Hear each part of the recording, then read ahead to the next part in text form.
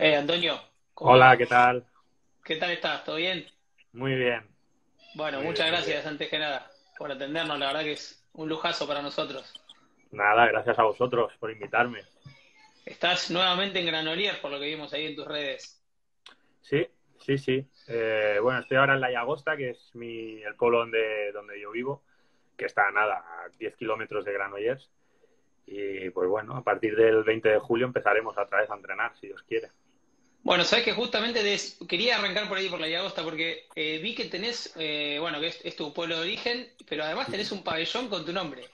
Sí, Increíble. Sí, sí. increíble. La verdad que ahora a veces lo pienso y todavía no, o sea, no, no, no llego a, a- a- a saber hasta qué punto es grande eso, ¿no? Luego cuando te paras a pensarlo dices, ostras, que no todo el mundo tiene un pabellón con su nombre, ¿no? Y bueno, final fue cuando quedamos campeones del mundo en 2013 aquí en Barcelona. A los dos años de- propusieron cambiarle el nombre al pabellón de aquí del pueblo y le pusieron mi nombre. Espectacular. Y otra cosa que también estuve leyendo que eh, te propusieron para un cargo político, puede ser ahí, digamos, es como que sos muy representativo del lugar donde estás. Sí, sí. Mira, de hecho, hace un año, ahora hace un año exactamente, eh, empecé a ejercer como concejal de deportes de, de mi pueblo, de La Llagosta.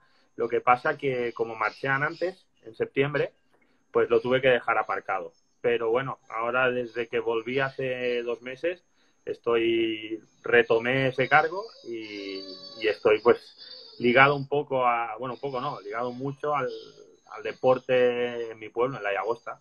Espectacular. El, el Consejo Esportivo, ¿no? Que le dicen ustedes, los catalanes. Sí, es el Consejo de Deportes de aquí de La Llagosta. Mirá qué bueno. Y qué bueno que tengas esa, esa vinculación afectiva con el lugar de donde sos también. Me parece que en general ustedes son todos así, ¿no? De estar muy vinculados con el lugar donde, donde nacieron. Bueno, yo realmente, la verdad que, mira, yo, yo no sé si ha sido también el hecho de, de que he estado mucho tiempo fuera, que he estado entre, he estado nueve años fuera de un lado para otro, pero siempre, siempre he tenido, pues no sé, ese arraigo, ¿no? Aquí a, a, a mi pueblo, sobre todo también porque yo soy una persona bastante familiar y, y que le- me gusta mucho estar a- con mis amigos y claro, ellos han estado aquí todo este tiempo y la verdad que, que siempre que, que, que- he estado fuera eh, he sentido el apoyo desde aquí de la Llagosta, ¿no? Pero yo en mi caso particular sí que sí que puedo decir que soy bastante de mi casa. Y sabés que, bueno, yo cuando veo, repaso tu carrera, digo, los clubes en los que has estado, digo, "Uf, eh, me vuelvo loco, pero también debe ser duro estar, ¿no? De un lado para el otro y recorriendo y lejos de casa, por ahí la parte que no se ve del deporte de alto rendimiento. Bueno, a ver, yo, mira, te puedo decir que, sí, que es duro y todo, pero que yo me considero, me considero y me he considerado siempre un privilegiado, ¿no? Porque al final el 95% de los sitios a los que he viajado durante toda mi vida ha sido gracias al balonmano, ¿no? Eh, ya sea por, para ir a jugar a un equipo o para ir a jugar contra otro equipo o para ir a jugar un campeonato. Y siempre desde pequeño todos los viajes prácticamente que he hecho fuera de España han sido han sido gracias al balonmano no entonces sí eh, quizás pu- puedes decir que, es duro o no pero yo siempre he sacado el lado positivo de las cosas no he tenido la, la suerte de estar en muchísimos equipos de muchos países en grandes equipos de, de- muy buenos países con mucha tradición de balonmano sí que es verdad pues que alguna vez sí que me hubiese gustado continuar en, en, en alguno de los equipos en los que no pude continuar. Pero bueno, eso me dio la oportunidad de llegar a otros sitios que, por ejemplo, a, Barcelona, al Barça, nunca hubiese podido llegar si no hubiese marchado de Seguer, prácticamente, ¿no? Es un, un equipo donde yo me hubiese gustado continuar, pero no salió así, tuve que marchar a Colding y, gracias a eso, pues a mitad de temporada tuve la oportunidad de que el Barça me llamase y yo poder eh, desvincularme de, de Colding para ir a jugar al Barça. Entonces, poder llegar a, a ese club a jugar también en- en la etapa en la que yo estaba, pues fue un gran premio, ¿no? Así que siempre me he considerado que todos los cambios que he hecho han sido para bien y sí que es verdad que a lo mejor por el tema familiar ha sido un poco más complicado, pero bueno, todo lo demás compensaba. Espectacular. Y vos, me imagino que habrás empezado a jugar ahí en tu pueblo, pero llegaste medio temprano a Granolías, ¿no? Que es una de las canteras más grandes, si no de España, del mundo también. Sí, sí, yo empecé a jugar con 12 años en, en La Llagosta, en mi pueblo, con, con los amigos. Aquí no existía prácticamente el balonmano. pero yo tenía un conocido de la familia, un amigo, que era entrenador de balonmano y me, me dijo, oye, mira, ¿te gustaría hacer un equipo de balonmano con, con tus amigos, con... Sí, yo dije, pues claro, y empezamos a entrenar. El primer día recuerdo que éramos cuatro entrenando, pero bueno, empezamos a entrenar. Al mes y medio ya hicimos un equipo, empezamos a jugar partidos y, me encantó. Entonces, pues seguí jugando y nada, los dos años, eh, al final de la segunda temporada, que yo tendría, tenía ya 14 años, eh, me llamaron, bueno, llamaron a mi madre de Granollers y me propusieron si quería ir a formar parte de, ese club, que para mí en ese momento era increíble. Vamos. Yo jugaba balonmano porque me lo había dicho un amigo, porque me gustaba jugar a balonmano, pero yo, era un niño que jugaba como casi todos los niños en España, jugaba fútbol. Y, y bueno, pues empecé ahí en Granollers y hasta ahora. Ahora, es, es como un cuento de hadas visto hoy, porque si alguien te decía que en ese momento que eran cuatro, que empezaste porque dijo un amigo, ibas a ser campeón del mundo, ni en, ni los más grandes sueños, me imagino. ni en los más grandes sueños. En ese momento me lo llegan a decir, vamos, pero vamos, ni loco. Y, además es que yo recuerdo que, la, sobre todo, la, fue, curioso que la segunda temporada que yo jugaba balonmano, todos mis amigos, los que no estaban en balonmano, jugaban a fútbol y yo, le dije a mi madre, ah, yo quiero jugar a fútbol. Cuando termine esta temporada me voy a jugar a fútbol. Pero ese año me empezaron a llamar de para ir a hacer concentraciones con la selección española, con la selección catalana, y a final de temporada me llamó Granollers y dije, bueno, voy a seguir con balonmano, a ver, y, los días que no entrenaba balonmano, que entrenábamos tres días a balonmano en Granollers, los otros dos días me iba a entrenar a fútbol sala en la Llagosta con mis amigos. Entonces, bueno, una cosa compensaba la otra y podía al final lo que pasa que, claro, sí que es verdad que llega un punto en que ves que, vas yendo a campeonatos de España, que estás llegando a, un, a cierto nivel, que lo disfrutas. Yo siempre lo he disfrutado muchísimo. ¿no? He sido una persona, pues, yo era siempre un friki del deporte, de todos los deportes, ¿no? Es verdad. Y, y, cuando veía la posibilidad de poder competir, de competir cada vez a más alto nivel, pues me volvía loco pues obviamente me decanté para eso, ¿no? Para el balonmano. Acá tenés un, desafío al pádel también. Sé que un amigo tuyo que dice que tenés que organizar un pádel, la segunda vez que te avisa. Así que bueno. Sí, sí. Tienes razón. La semana pasada le dije que íbamos a organizar un pádel y no y todavía no hemos hecho. Él, ¿sabes? Él, es Víctor Sáez. Él estaba el año pasado con nosotros de extremo izquierdo en Granollers. Es cierto. Ah, mira. Bueno, un saludo grande. Crack. Gracias por estar. Un crack, un crack. Eh, estaba viendo el Granollers. En tu primera etapa fue el lugar donde más tiempo estuviste, ¿no? Sí, estuve el primer, la primera etapa fueron 13 años. Luego el año pasado, que estuve un año prácticamente, y ahora pues a lo que me quede. Y ahí yo eh, veo que jugaron la Recopa de Europa con el Granollers. ¿En 2010 puede ser? ¿Contra Gummersbach? Sí, sí, llegamos a la final de, la, de la Recopa Europa. Además fue un año que, empezamos la temporada bastante mal. Eh, recuerdo que al final de la primera vuelta hicimos únicamente 11 puntos y habíamos tenido lesionados también. Y yo, yo empecé la temporada jugando únicamente en defensa, de segundo en defensa y algún rato para, para cuando estábamos en el cambio largo atacaba de extremo izquierdo. pero únicamente para poder hacer la defensa en el segundo, porque estaba la Borchutura en esa época de lateral izquierdo y, no jugaba en defensa. Entonces cambiábamos. Pero bueno, hubieron varias lesiones, se lesionó Álvaro Ferrer, se, lesionó Michael Applegreen y bueno, pues empezó a jugar la Borchutura de central y yo de lateral izquierdo. Y esa temporada, la segunda vuelta, empezamos a jugar cada vez mejor, hicimos una segunda vuelta muy buena en liga, en la Recopa eliminamos a, me recuerdo, eliminamos a Gemblé de Francia, eliminamos a Esteagua de Bucarest, eliminamos a Chimos Copper, que estaba de ambos en esa época. Es cierto. Y, llegamos a la final y fue demasiado. Bummersbach nos pegó un repaso en su campo en el partido de ida, perdimos de perdimos de nueve y en casa les ganamos de cuatro. Nos quedamos ahí con las ganas, pero disfruta, disfruté muchísimo esa temporada en Granollers.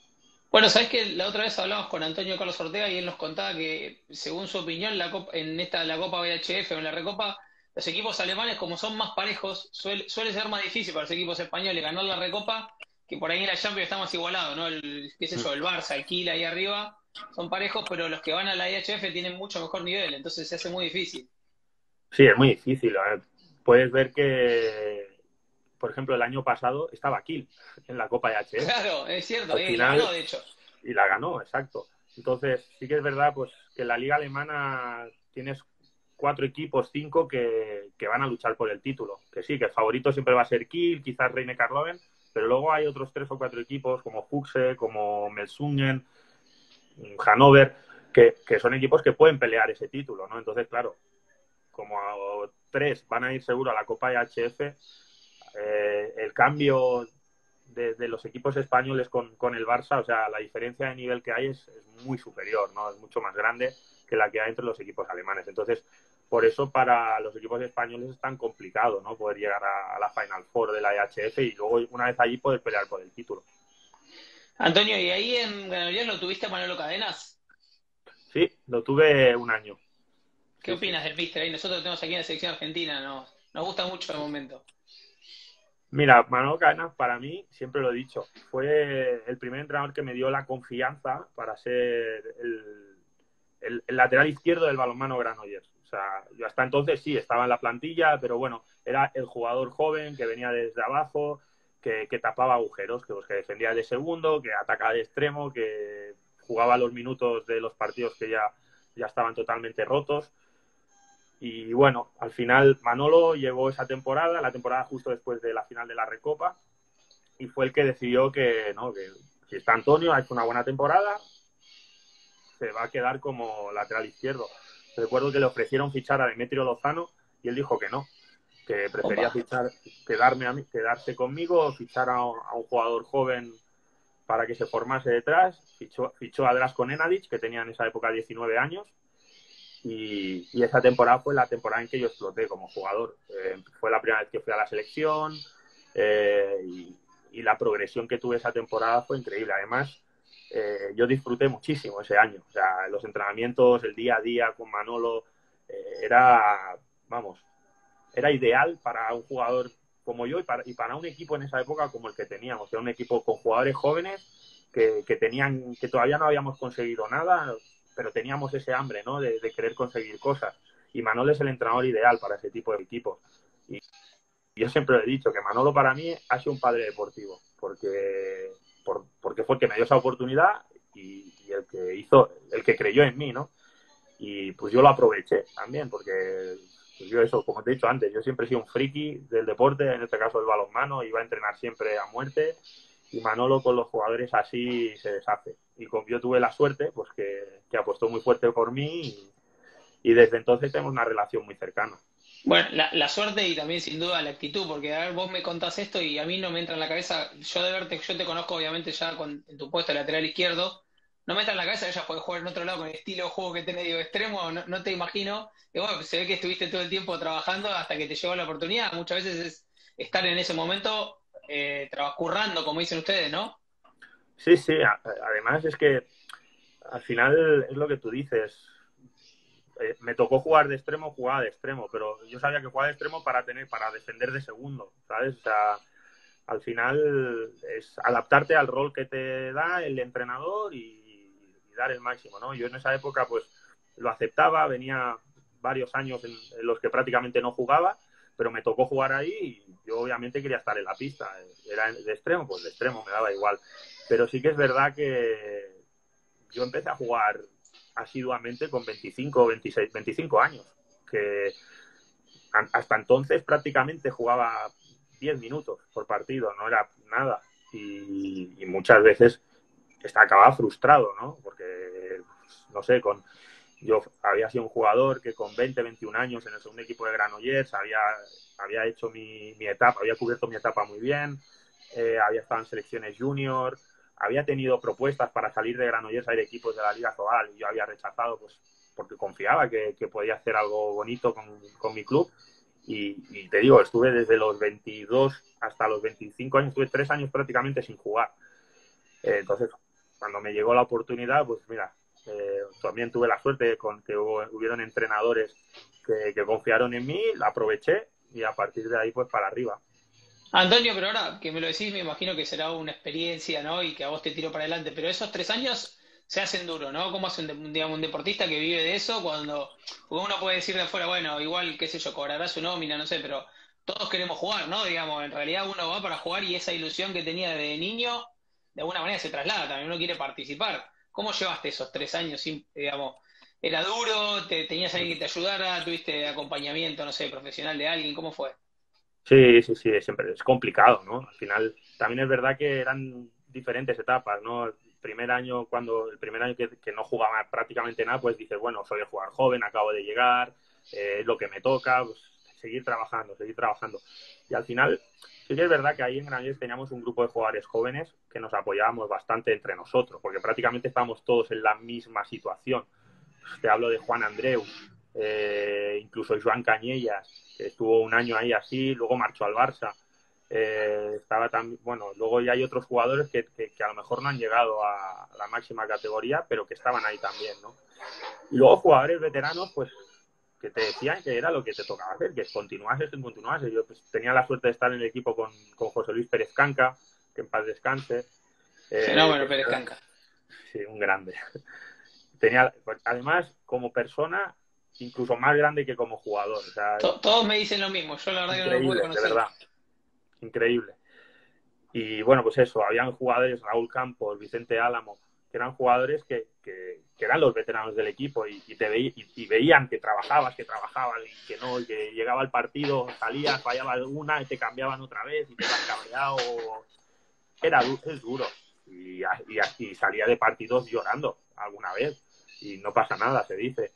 Pero bueno, eh, esto es la vida del deportista. También, también me ha pasado en otros clubes, ¿eh? me pasó también en Paris Saint Germain, que llegué el primer año allí eh, y, a mitad de temporada prácticamente estuve un mes jugando cinco minutos. Entonces, te, te frustras, pero yo soy de las personas que buscaba un camino un camino diferente para seguir trabajando, ¿no? Pues ¿qué hacía? Pues como no jugaba, pues entrenaba al doble. Me iba a entrenar por las mañanas, hacía sesiones dobles cada día porque si no perdía la forma, porque llegó un momento en el que veía que no jugaba, entrenábamos poco porque jugaba, porque el equipo jugaba más seguido pues tenía que entrenar el doble para poder mantener la forma, ¿no? Y bueno, pues eh, es que es, es, lo que toca, ya te digo, lo vuelvo a repetir, es que yo he disfrutado y sigo disfrutando mucho entrenando y, viendo el balonmano, ¿no? Y me ha pasado siempre y yo creo que me pasará hasta que me retire. Qué bueno. Y antes de llegar ahí a París, estuviste un año en Ademar.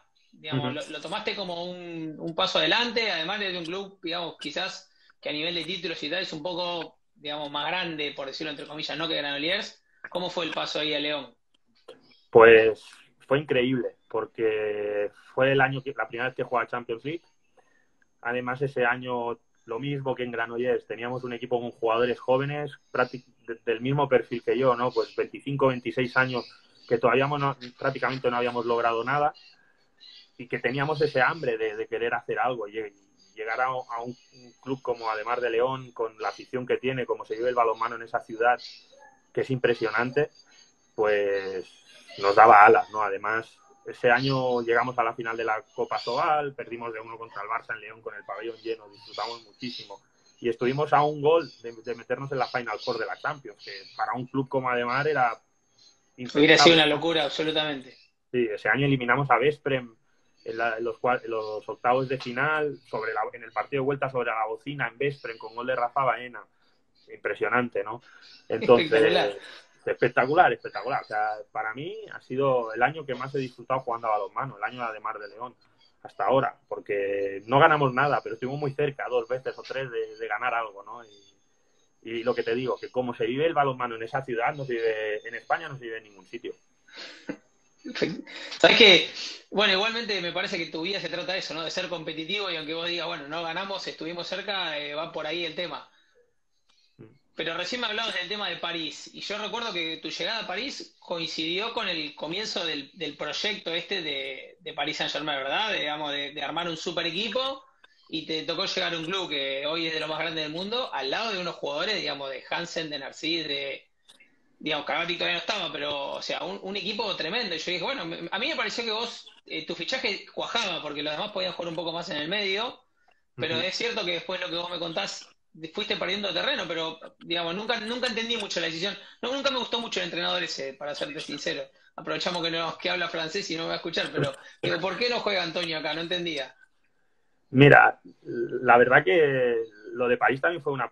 Cuando yo firmé con París fue un poco apuesta a ciegas, ¿no? Porque cuando yo firmé, de hecho, todavía no era ni París Saint Germain, era un proyecto de, equipo catarí, era dependían de que, de que París de que París HB mantuviesen la categoría y, y además recuerdo súper bien el día que, que, jugaba la última jornada de la Liga Francesa y dependía que, que París mantuviese la categoría para que París Saint Germain pudiese arrancar en la máxima categoría de la Liga Francesa.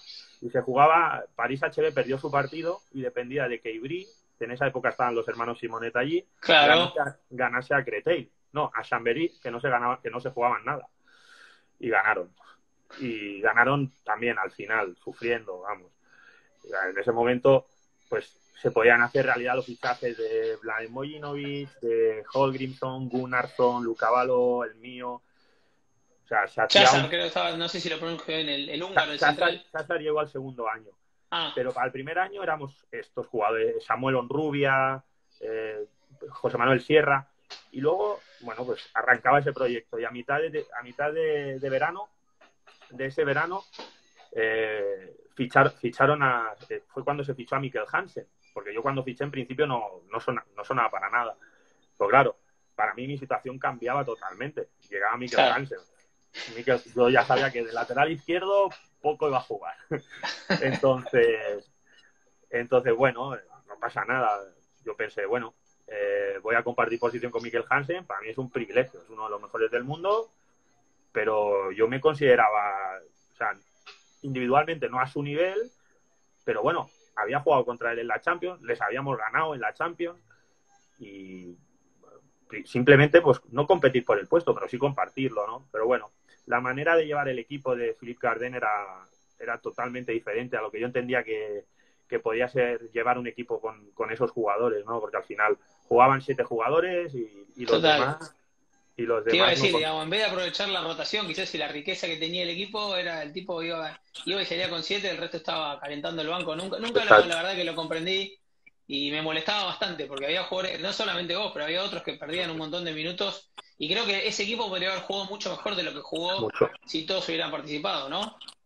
Estoy de acuerdo, totalmente. Es que además, cada vez que, hacíamos un buen partido era porque los siete, empezaban, los siete buenos empezaban a regular el partido, los tenían que cambiar, salíamos los malos, jugábamos medio bien, luego volvían a salir los buenos y jugaban bien y ganamos el partido fácil que al final eran rotaciones obligadas, pero joder, que te enseñaban un poco el camino de cómo, de cómo gestionar tantos buenos jugadores en un mismo equipo, ¿no? Porque al final tú te das cuenta que, que, la intensidad de los partidos de balonmano actual es tan alta que es muy difícil que un jugador aguante 60 minutos atacando y defendiendo. Ya es que ni Karabatic, que, es el jugador que, lo podría hacer, o, Sagosen ahora mismo, sí, lo pueden hacer, pero no 60 minutos al máximo nivel, ¿no? pues su manera de entender la gestión de equipo no era esa y bueno, pues al final me tuve que buscar la vida un poco más como central, que era la primera vez que, empecé a jugar como central, pero bueno, el estilo español un poco me ayudó en eso y, la verdad que bueno, la segunda temporada acabé jugando más minutos y sobre todo más minutos importantes.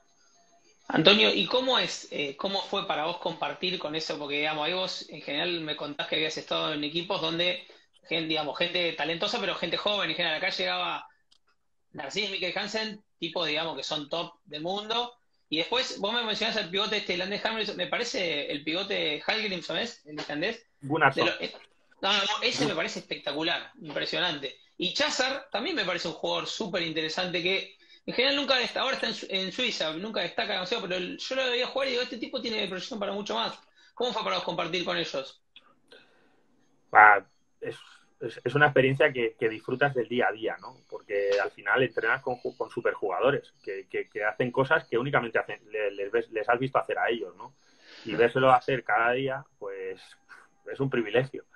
Y encima, pues eso, que compartes entrenamiento, compartes vestuario, compartes amistad, momentos fuera de la pista.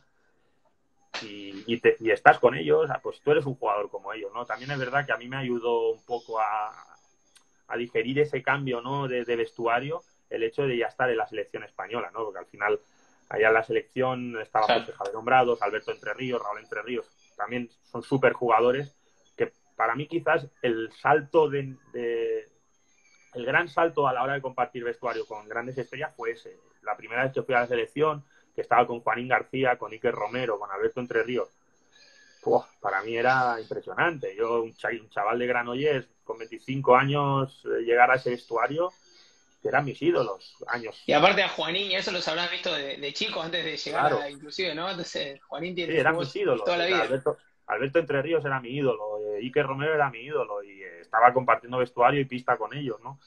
Pues para mí quizás fue más grande ese salto de, nivel en, en, cuanto a vestuario que no el de París, ¿no? Porque al final, en París sí, eran superestrellas, pero contra los que había estado jugando el año anterior, dos años antes, y, bueno, pues ya me veía un poco más a su nivel, ¿no? Como jugador, y eso pues ayuda mucho también. Y ahí pasas a, a que es otro equipo grande, digamos, hoy me parece que ha, tomado con la llegada de, Juan Carlos hace unos años mucho más trascendencia, pero es el segundo equipo a nivel de Hungría, es un equipo grande que juega competición europea. ¿Cómo te fue ahí? Pues para mí es el equipo, creo, uno de los, un equipo en el que estuve súper cómodo, en el que también lo pasé mal, porque acostumbrarse al sistema de trabajo de Juan Carlos Pastor es complicado, porque es un sistema muy cerrado, una manera de trabajar muy suya, ¿no? Muy, muy, ¿cómo decirlo? No, no es peculiar, porque al final es súper profesional, ¿vale? Pero sí que yo creo que únicamente se trabaja así con él, con Juan Carlos Pastor, ¿no? No lo puedes asemejar a ningún otro entrenador, por lo menos con los que yo haya estado. Y sobre todo, sobre todo porque vives las 24 horas del día única y exclusivamente para el balonmano, para poder ganar. Y esa ambición que tenía Pastor y que tiene, porque la sigue teniendo, pues se, la, se la quiere transmitir siempre a sus jugadores, ¿no? El hecho de eso, de tener que vivir las 24 horas del día para, por y para el balonmano. Entonces, a mí no es que me costase eso, a mí me costó mucho, pues, eh, el sistema táctico que él tenía, ¿no? Y, el saber encontrar el rol en el equipo que él quería que yo tuviese. Porque yo venía de París, de jugar en defensa y de central, y en Seguet empecé a jugar únicamente en ataque de lateral izquierdo y en defensa jugaba de exterior en el lado derecho. Que para mí era un cambio totalmente grande y yo, pues, en mi cabeza tenía, joder, pues yo puedo defender, si yo he defendido toda mi vida. Y él, me, y él es que no me decía nada, simplemente no me ponía. Pero bueno, era ¿Qué, pasa? Hasta que yo no entendí mi rol en el equipo, no empecé a jugar como él esperaba de mí y, a mi mejor nivel, ¿no? Yo ahí, puedo decirte, tenía, me parece que tenía 30 años cuando llegué a Seger y tácticamente ha sido el sitio donde más he aprendido, donde más he mejorado como jugador. Y, yo eso lo, voy a agradecer siempre. Estuve dos años ahí aprendiendo muchísimo, trabajando muchísimo, tanto vídeos, horas, horas y horas de vídeo, horas y horas de preparaciones de partido, horas y horas de entreno pero es que lo disfrutaba, por lo que te he dicho siempre desde el principio de la entrevista, que soy un friki. Y, luego eso, pues Pastor tiene un carácter muy fuerte, que, exige mucho a los jugadores y hasta que no te adaptas a ello, pues lo pasas, lo pasas mal. Pero sí que es verdad que, que cuando logras las grandes victorias lo disfrutas el doble. Antonio, ¿y cómo es el balonmano en Hungría, que es un lugar, eh, digamos, un país pequeño que tiene un, equipo, generalmente el Vesprem, que hace mucho tiempo que es el equipo más representativo. ¿Se plantea eh, ganar a Vesprem? Digamos, ¿la, competencia doméstica eh, eh, tiene nivel? ¿Cómo es eso? Obviamente, Seget y Vesprem están un peldaño por encima ¿no? del resto. cuando yo llegué a Seget, quizás la diferencia que había entre Vesprem y Seget era, mucho, era un poco más grande de la que hay ahora. Yo pienso que ahora Seget y Vesprem son, están muy parejos puede ganar cualquiera en cualquier partido. Cuando yo estuve allí nos era muy complicado ganar a Vesprem, estábamos cada vez más cerca, pero nunca logramos poder eh, ganarles y sobre todo un título, ¿no? Pero luego, eh, sobre todo en los últimos años, han llegado, hay equipos ahí arriba como Tatabaña, como Balaton Furet, que son equipos que, cada vez están más cerca. Tatabaña, de hecho, ha podido ganar alguna vez a Seguet, ha podido ganar alguna vez a Vesprem y que son equipos que, por ejemplo, en Copa EHF, Tatabaña, yo lo veía este año como un candidato a entrar en la Final Four. Por plantilla y también por, trabajo. Tiene un entrenador, Matic, que con muchísima experiencia, que, que, pues ha hecho, que consiguió hacer un gran equipo, ¿no? Mm, luego sí que es verdad que los equipos de media tabla para abajo son mucho, hay muchísima diferencia, ¿no? con, los de arriba y quizás con la media de las grandes ligas. Es ahí donde se marca la gran diferencia con las grandes ligas europeas. Y por lo que yo creo que a lo mejor no se puede comparar la liga húngara con el resto de grandes ligas europeas, ¿no? Porque quitando Vesprem Seget, Tatabaña y a lo mejor Balaton Furet, el resto de equipos sí que ya bajan mucho el nivel. Pero bueno, eh, es un país donde da gusto ir a jugar a balonmano porque se vive muchísimo. Eh, el ambiente de los pabellones es, muy bonito, el, ambiente de Seget es increíble, el de Vesprem de los mejores de Europa. Y la rivalidad que hay entre Vesprem y Seget es una grandísima rivalidad, pero es una rivalidad sana. Eh, ya no, yo creo que antes, años atrás, era mucho más hooligan todo pero sí, pero todo se ha tranquilizado. Gracias a Dios todo se ha tranquilizado mucho. Y sigue habiendo esa gran rivalidad porque es enorme, pero yo creo que ahora las aficiones se respetan bastante más. Sabes, Antonio, que nosotros tenemos un argentino que jugó en Tatabaña, eh, bueno, estabas ahí, Bruno Sibeli, porque no tenía pasaporte, él creo que estaba en Arrate y no tenía pasaporte y fue a jugar, pero la verdad que en ese momento no, no, la verdad no tenía en consideración lo que vos me decís, que era un equipo que podía inclusive jugar eh, Final Four de HF. Eh, yo, eh, en lo que se ve afuera, obviamente, pensar que nosotros estamos en Argentina, no, no, tenemos la información que nos gustaría. Digo, como que están cómodos con un equipo, ahora están cómodos con dos equipos, pero bueno, eso es una buena noticia que los equipos de abajo vayan llegando, ¿no? Porque se hace más competitiva la, liga doméstica también. Sí, sí, tanto. Al final, también es verdad que, tuvieron inyección económica por parte del Estado todos los equipos de la liga y eso les ha hecho poder hacer fichajes internacionales, ¿no?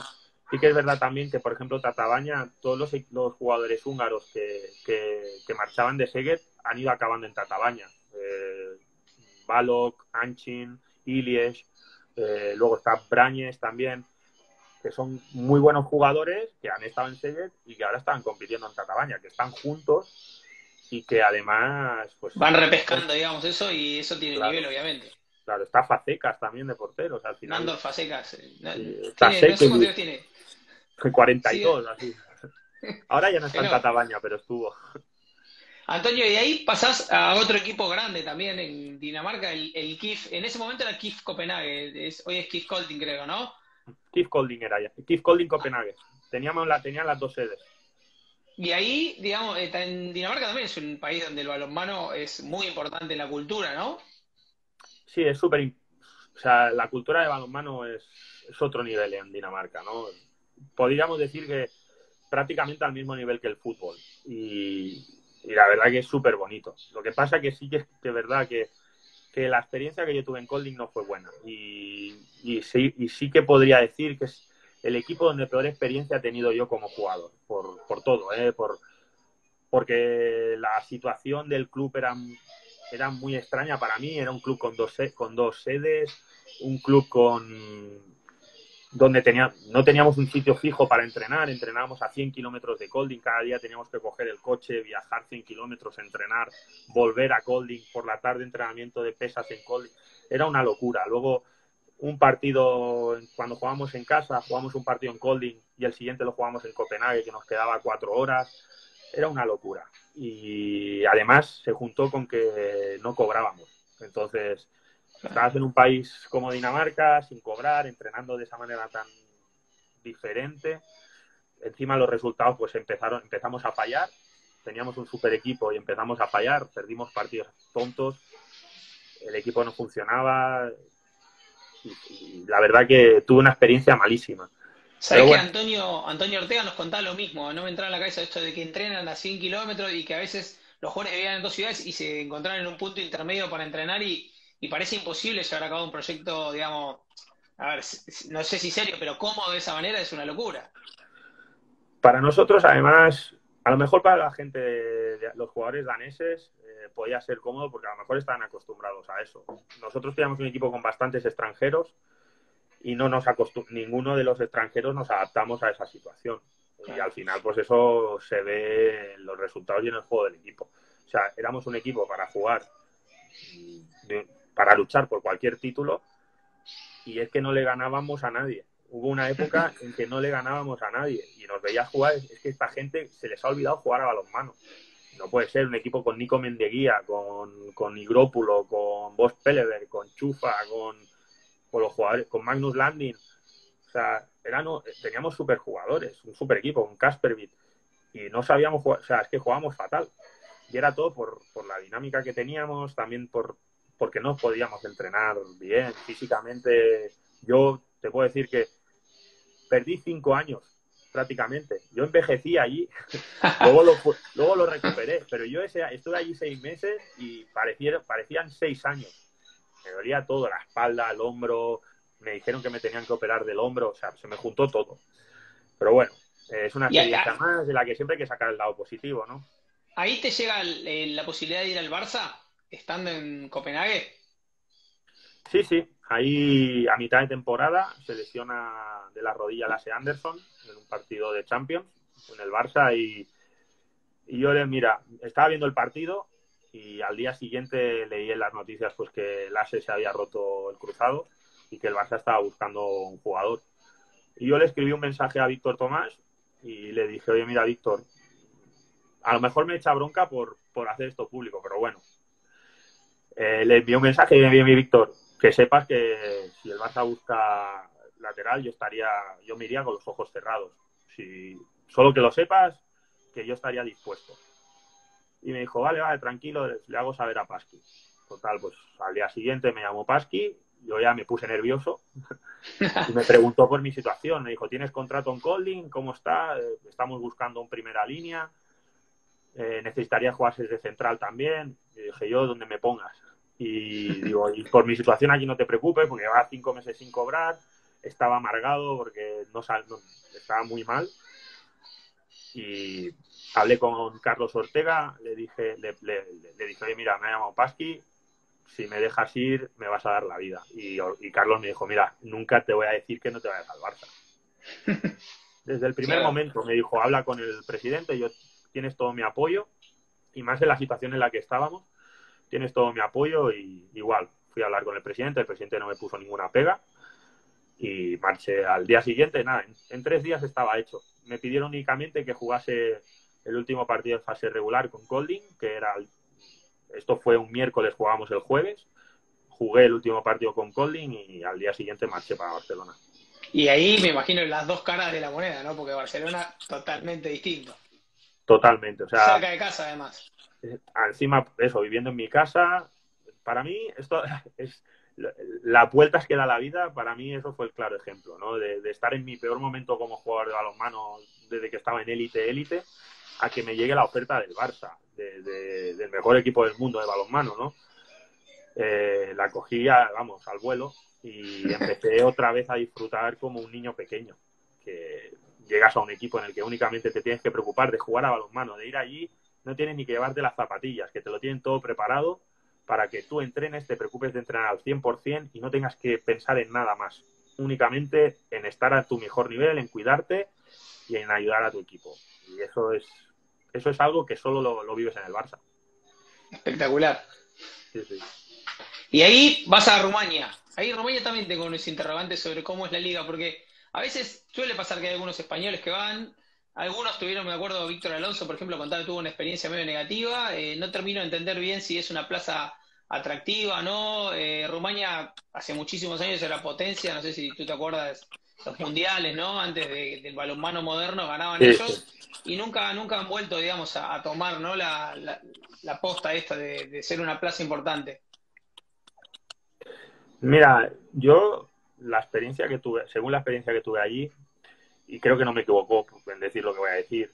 Rumania tiene una liga con muchísimas posibilidades económicas, con muchísimos medios, porque allí hay equipos con salarios que no se tienen en, en España 100% que no, pero que pueden estar compitiendo con equipos de la liga francesa, pero no saben gestionarlos.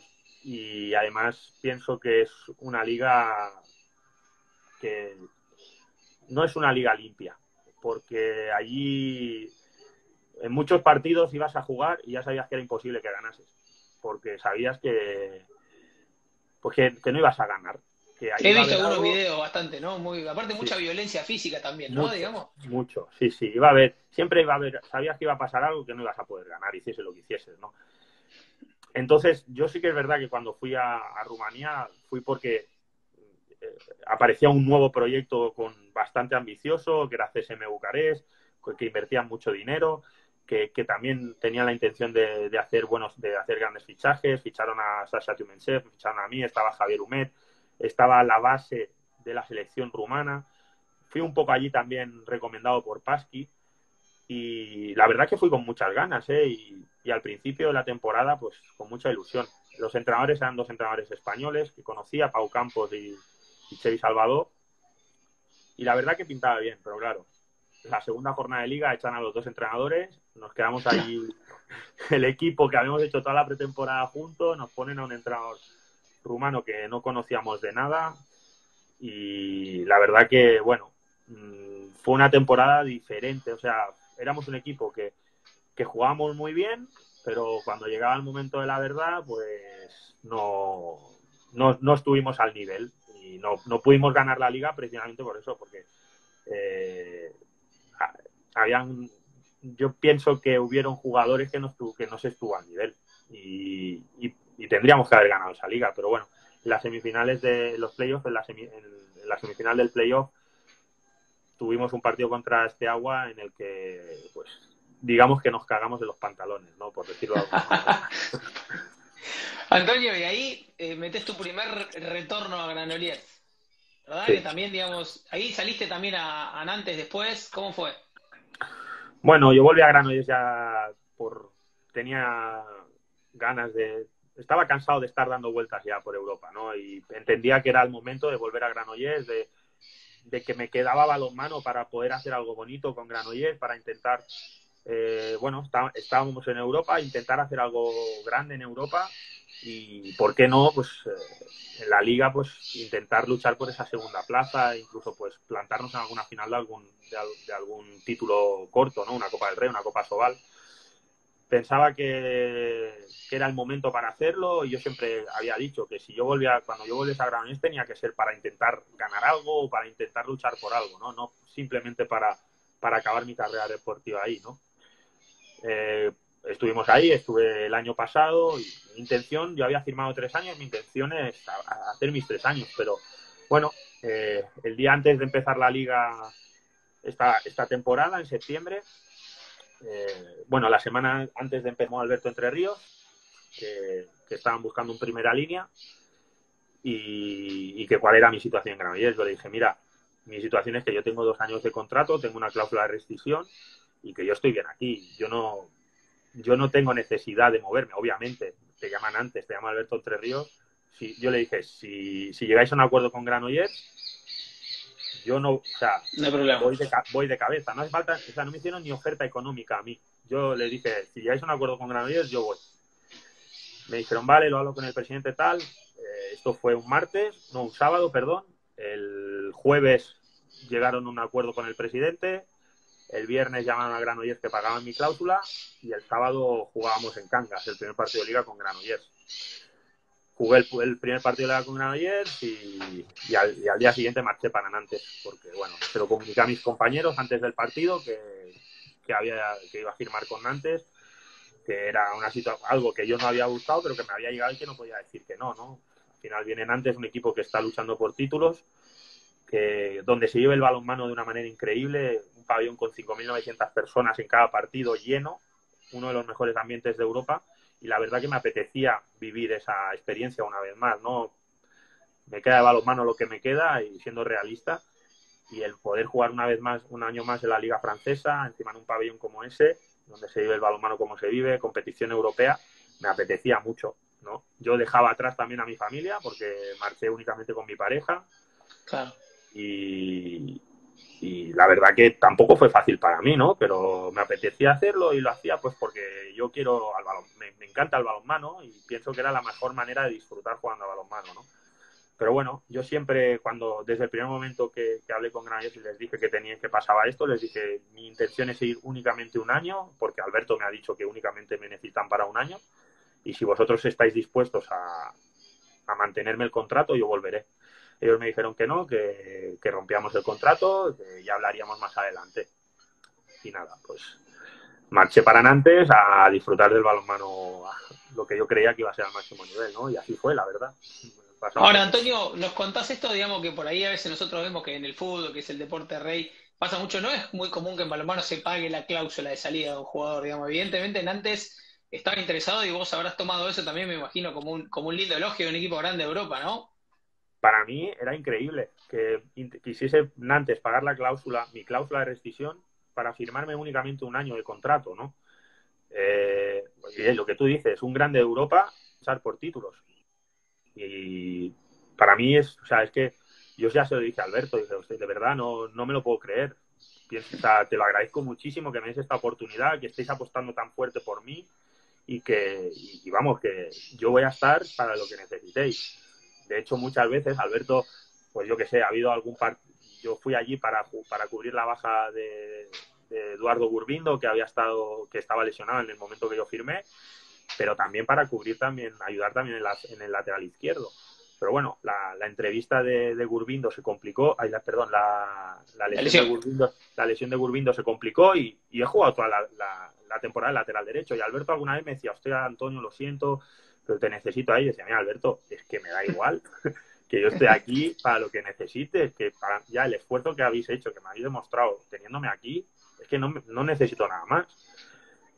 Y, la verdad que voy a estar siempre agradecido a, Alberto, a presidente, a, Nantes, a toda la afición por, pues, por el año que me han dejado vivir. Sabes que yo vi, no vi muchos partidos, pero los que vi te vi de buen rendimiento en la derecha. Digamos, para un jugador con el lanzamiento que tenés vos debe ser un mundo nuevo, ¿no? Ahí pasa 100% por la cabeza o cómo lo trabajaste. Eh, jugar la derecha, me dice. Sí, lateral derecho. Tiendo pues, diestro y aparte eh, lanzador como sos vos. Sí, bueno, es cambiar totalmente la, manera de, jugar, ¿no? Sabes que al final también está estaba rodeado de jugadores que también eran lanzadores, ¿no? Al final tenías ahí a Merrick Min, a, Olivier Ñocas, a Alex Cavalcanti, que son jugadores que, que son de Ñocas, qué, qué, potencia física, ¿no? Nosotros lo vemos, se despega del piso y tira unos misiles increíbles. Es increíble. Y además es que lo ves y dices que físicamente puede hacer lo que quiera. El día que está bien, puede meter gol cuando quiera, como quiera y de donde quiera. Y es increíble verlo ahí entrenar. Eso es impresionante. Pero sí, sí, es cambiar la manera de, jugar. Al final juegas a dar más continuidad, a, intentar abrir espacios, crear tú la superioridad para que la aproveche otro. Intentar, pues eso, al final juegas a un poco más para los demás y si te llega, y cuando pues llegaba el momento de intentar jugarme yo algo, pues lo intentaba hacer, ¿no? Pero sí que es verdad que, bueno, pues que lanzan mucho menos, que penetran mucho menos también. Pero, y luego otra cosa que, ha sido muy diferente para mí es el defender de, de, número dos en la derecha. Era algo que hace muchos años que no había hecho. La orientación del atacante es totalmente distinta para vos. Cambias la orientación, no es lo mismo defender a, a los jugadores diestros que a los jugadores zurdos. Los jugadores diestros van más al uno contra uno, buscan más el lanzamiento en proximidad, los lanzadores zurdos se la tienen que preparar más, los centrales, ¿no? Y eso cambia todo totalmente. Pero bueno, la verdad que he disfrutado muchísimo y, encima he podido volver a trabajar con, con, otro gran entrenador y otro ídolo para mí como era Alberto Entre. Bueno, sabes que eso te quería preguntar porque te quería llevar un poco a tu etapa de la selección. Vos sos campeón del mundo 2013, lo que para España fue un sueño, ¿no? Digamos, en casa, eh, con un equipo súper competitivo, jugó muy bien, que prácticamente borró de la final absolutamente un gran equipo como era esa Dinamarca de Mikkel Hansen, donde sentimos que casi que no había partido. Sí, sí, fue, mira, volví a ver por primera vez eh, la final, ahora en el confinamiento aquí en España, que lo estuvieron pasando por Teledeporte, y es que no me lo podía creer, porque al final recuerdo que, que Dinamarca llegaba como principal favorita ya, ya no solo por los jugadores, sino por cómo habían estado jugando durante todo el Mundial. Habían hecho un Mundial espectacular. Y nosotros habíamos jugado muy bien también, pero un poco irregulares. Pero vamos, el partido que nos salió en la final fue impresionante. Y encima tuvimos la suerte de eso, que era en casa, en el Palau San Jordi con 20.000 personas, disfrutando la victoria en los últimos 20 minutos, prácticamente únicamente celebrando ya, porque habíamos una renta en el marcador que era impresionante, ¿no? la verdad que lo disfrutamos muchísimo y bueno, eso al final pues ha quedado ahí para siempre, ¿no? Sabes, eh, Antonio, que nosotros tenemos eh, mucha admiración por Valero Rivera, por esta cuestión, cuando estuvo en el Barça, que construyó ese el famoso Dream Team, y bueno, luego ahora la modernidad campeón con España, el trabajo que hizo en Qatar, ¿cómo es el, día a día con un entrenador así, digamos, muy obsesivo, como se dice? ¿Cómo trabaja? Valero Rivera es, o sea, ha ganado tantas cosas por lo exigente que él es consigo mismo. Entonces, como él es tan exigente consigo mismo, lo es con los demás, con todos sus jugadores, y te obliga a ti a ser exigente contigo mismo, ¿no? Entonces, cuando tú tienes a un grupo de buenos jugadores o de grandes jugadores que se autoexigen el 100%, ya no solo en los partidos, sino en los entrenamientos, es muy complicado que te salga mal, ¿no? Entonces, el trabajar en el día a día es súper exigente también por eso, porque, porque tú tienes que estar al 100% siempre. Incluso el día que no tienes tantas ganas de entrenar, como no estés al 100%, eh, es que te va a pintar la cara delante de tus compañeros y, ya solo por eso no sabes que no puedes estar así, ¿no? Y luego, pues encima ves que, tienes tu recompensa jugando cada vez mejor, ganando títulos, eh, ganando a grandes equipos, pues eh, es que da gusto, ¿no? Eh, todo lo, todo, la autoexigencia que tienen del día a día, pues tiene su premio después cuando compiten. ¿Sabes que acá tenemos una pregunta de un amigo que se llama Gonzalo Carú, que dice, sí, es verdad que tus compañeros te cuidaron de una manera especial para enfrentar a Vesprem. No sé a qué se refiere. se refiere que en el partido que comentaba antes de, la vuelta de Vesprem, de, la, de la Champions con Ademar, que, bueno, habíamos jugado en León el partido de ida, ganamos de tres y teníamos que ir a jugar la vuelta de los octavos de final de la Champions allí, ¿no? Bueno, pues justo cuando salimos para, para Vesprem de León, a las tres horas me llamó mi mujer que, que, estaba, que había roto aguas y que iba a dar a luz a mi hijo. Entonces, pues se paró el autobús, me bajé el autobús y me fui para León. Y el equipo pues marchó para Vesprem. Entonces, bueno, yo vine a hacer a mi hijo, y justo vine a hacer a mi hijo y me marché yo solo para Despren y llegué la noche del partido. Pero bueno, pues mis compañeros pues, ahí estuvieron.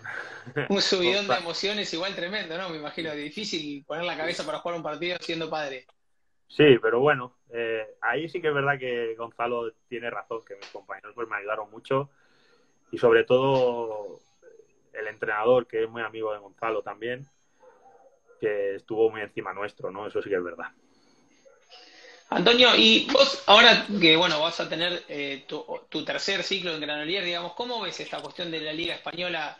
No digo de que vuelva a ser la liga esta de, de super figuras que veíamos nosotros hace unos años. ¿Crees que puede volver a, digamos, ahora sabemos que Irún está armando un proyecto, digamos, que vuelve Julen, que vuelve, se puede lograr que los equipos como Granolier, como Ademar, vuelvan a tener ese potencial que han tenido en otros años? ¿O lo ves medio difícil? Yo lo veo muy complicado. Yo, la verdad que es una alegría enorme que un club como Vidasoa haya hecho un proyecto como, como el que ha confeccionado, pero pienso que es una isla en medio del desierto, porque si ya era complicado, ya con la crisis esta del COVID, hay muchos clubes que, lo van a pasar mal, otros clubes que aunque no vayan a pasar mal se van a escudar en esa crisis para justificar eh, un poco la inoperancia que se, que, se ha tenido en los últimos años. Y lo, la verdad que lo veo complicado, porque siguen habiendo situaciones muy precarias, ¿no? Contractuales en, todos los equipos, en muchos de los equipos de la Liga Sobal. Y hasta que eso no cambie va a ser muy difícil poder llegar al mismo nivel que había antes. Entonces yo ojalá me equivoque y la verdad que me da mucha pena, pero, pero yo veo muy difícil y lo veo muy lejos que, la Liga Sobal vaya a ser ni una sombra de lo que fue antes, ¿no? Otra cosa es que dentro de la pista hay grandes jugadores que, que bueno, que juegan dos, tres años a la Liga Sobal y como son grandes jugadores, pues luego marchan fuera de la Liga Sobal, ¿no? Por desgracia o por suerte para ellos también. Pero eso también es porque, porque hay muy buenos entrenadores, porque se trabaja muy bien, se sigue trabajando muy bien en el 40 por 20 pero por desgracia fuera del 40 por 20 no se trabaja tan bien, ¿no? Entonces pienso que hay que hacer un, un cambio de mentalidad y un cambio de, de, estructuras que hasta que no se haga, la Liga Sobal va a estar lejos de las grandes ligas y sobre todo va a estar lejos de lo que llegó a ser, ¿no? Sabes que, por ejemplo, yo, veía que hubo una situación con Álvaro Cabanas, que a nosotros es un jugador que a mí un jugador me gusta mucho, que, que decidió retirarse porque no lo podía compaginar con el trabajo. Y ahí, la verdad que se me enciende la luz de alarma porque digo, ¿en qué nivel está la liga que un jugador, digamos, decide, digamos, con 30 años? Creo que a Álvaro le queda bastante, ¿no? Digo, y, y están pasando, nos enteramos de esas cosas de que de esto que vos decís de lo contractual y está bastante complicado, ¿no? Que es el claro ejemplo lo de Álvaro Cabanas, que, que, un jugador del nivel de Álvaro Cabanas, con 30 años, se tenga que retirar del balonmano, te dice mucho de lo que le puede ofrecer el balonmano y lo que y lo que le pueden ofrecer fuera del balonmano, ¿no? Pues si elige lo que está fuera del balonmano, eh, a ver, es porque el balonmano pues está en una situación muy precaria y una situación semiprofesional y es una realidad, no pasa nada por decirlo, ¿no? Eh, el ejemplo de Álvaro eh, salta más a la vista porque, bueno, es un jugador que ha sido máximo goleador de la liga, que tiene el currículum que tiene, pero es que hay muchos jugadores que cada temporada hacen esto, sin, ir más lejos. el año pasado, David Resina, un jugador, un extremo de toda la vida de balonmano Granollers, uno de los máximos goleadores de la historia, se tuvo que retirar del balonmano. Pues por lo mismo, porque el balonmano no le podía ofrecer lo que le ofrecía la vida fuera del balonmano, ¿no? Y todo estamos hablando de temas profesionales y contractuales y, económicos, porque no hay que ir más allá. Y ya no hablo solo de cantidades económicas, sino de, de, cómo, de cómo, de cómo son, eh, o sea, de, cómo recibes el, el, dinero, ¿no? Entonces, es complicado. Y hasta que eso no se arregle, pues va a ser muy difícil que la Liga Sobal vuelva a lo que era. Bueno, Antonio, ya no, nos queda un minuto, se va a cortar. Quería, bueno, obviamente agradecerte, la verdad que ha sido súper amable, muy rica la entrevista, muy, muy bueno. Y bueno, espero que ahí en la Iagosta, como, como consejero de deportes, puedas lograr que algún otro niño tenga una carrera parecida a la que tuviste tú ahí por todo el mundo. Bueno, con que juegan mucho a balonmano, ya me, me, conformaré, ¿no? Que les guste mucho el balonmano y que practiquen balonmano. Bueno, Antonio, desde Argentina un gran abrazo un placer, de verdad, enhorabuena por cómo seguís el balonmano, que desde aquí tenéis bastantes seguidores, ¿eh? ya os lo digo. Habéis, ha sido genial y lo he pasado genial. Bueno, te agradezco mucho. Un abrazo grande. Un saludo. Adiós. Adiós, adiós.